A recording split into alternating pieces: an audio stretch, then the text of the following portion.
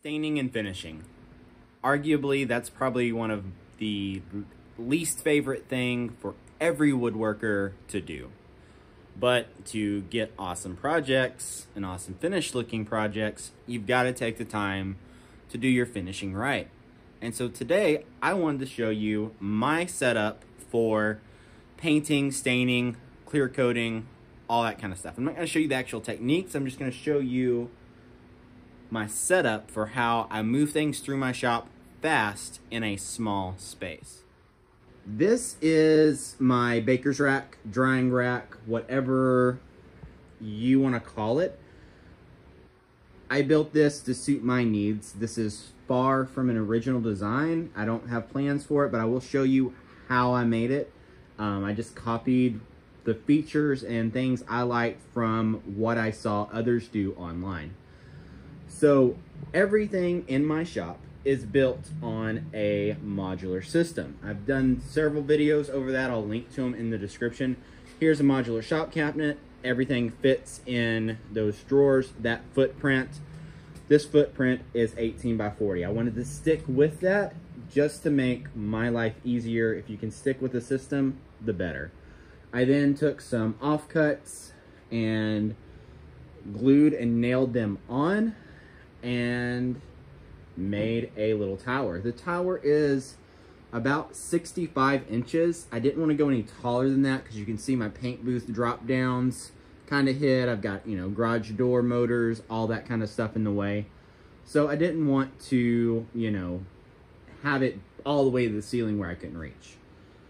Um, this will hold, let's see, one, two, three, four, five, six, seven, eight. So 16 doors um, and drawer faces, obviously. Here I could probably double stack them uh, too deep if I needed to. Um, I also made it this area a little bit deeper so I could fit um, a drawer on here if I just needed to stack stuff up out of the way. This will hold a standard kitchen uh, cabinet top drawer. You can see I spaced these out a little bit. And show you how well the glue held, I built it with everything about two and a half inches apart, and then I decided like, oh wait, I want some extra room here to hold bigger things.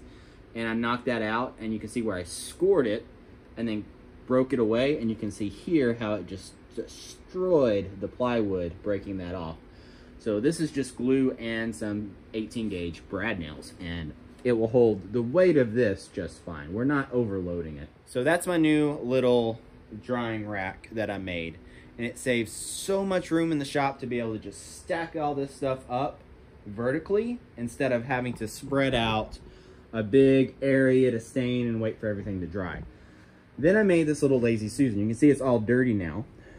But I also made this Lazy Susan to fit within my modular cabinet system. So I'm gonna cut away to that and show you how that works.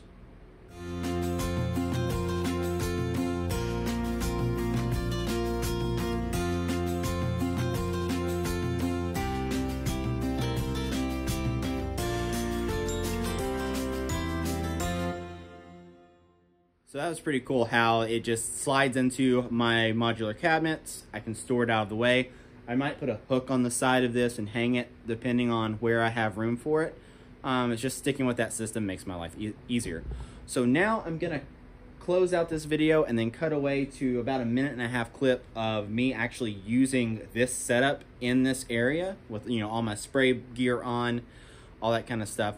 I hope you found some value in this video. Always open for ideas, tips, and tricks. And yes, I was spraying my stain uh, with HVLP. Spray it, wipe it, um, and I was just using Minwax Jacobine or Jacobean. I've heard it said two different ways. I'm not sure which is the right uh, pronunciation, but I think Jacobine is the right pronunciation. Who knows?